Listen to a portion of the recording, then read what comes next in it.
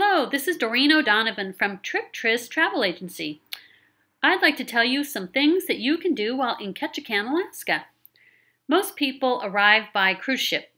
As soon as you disembark, you'll see the visitor center right there next to the port. Many tour operators will be waiting for you to help you decide what you might want to do while visiting Ketchikan. You can choose from float planes, bus tours, hiking tours, or even lumberjack shows. We decided to take a float plane to go to Neets Bay to see the black bears.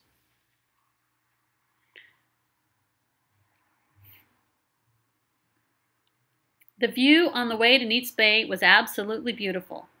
It was especially nice because the weather was clear. We arrived at Neets Bay and got set up with our photography equipment, and the bears were ready. They come every year to this area to feast on the salmon that are spawning. The bears were very busy fishing, and we didn't have to worry about them. They didn't seem to be worried about us. You can see we were very close.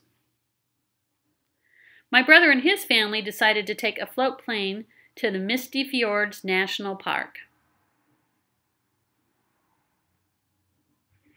They had a beautiful view of Ketchikan as they left town.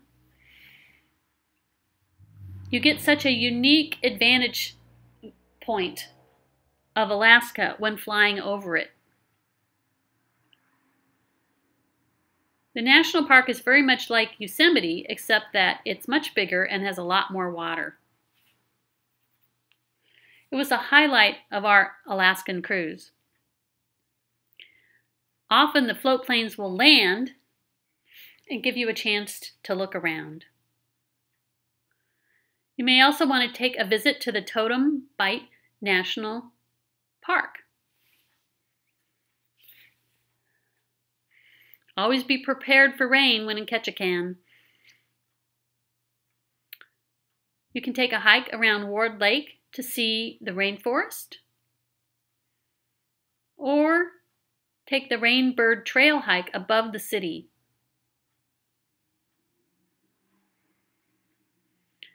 The Alaska Discovery Center provides a nice overview of the state. Go shopping along Fish Creek. Watch local artists do their craft.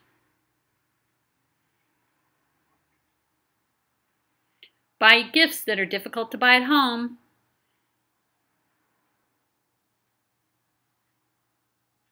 If you're a quilter, stop by the quilt shop to look for fabric that's unique to Alaska and also quilt patterns that are very unique. Don't forget to buy some fish to take home to your friends. I recommend walking all the way up Fish Creek to watch the salmon jump over the rocks as they head towards their spawning ground. You can go fishing by renting poles right there on the creek, or take in the lumberjack show. The theater is right next to the dock.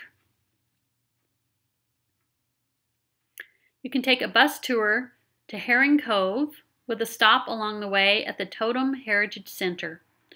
At Herring Cove, you're likely to see some more bears, although they're often pretty far away. And, of course, it's possible you won't see any bears at all. I hope you've enjoyed this tour summary of Ketchikan.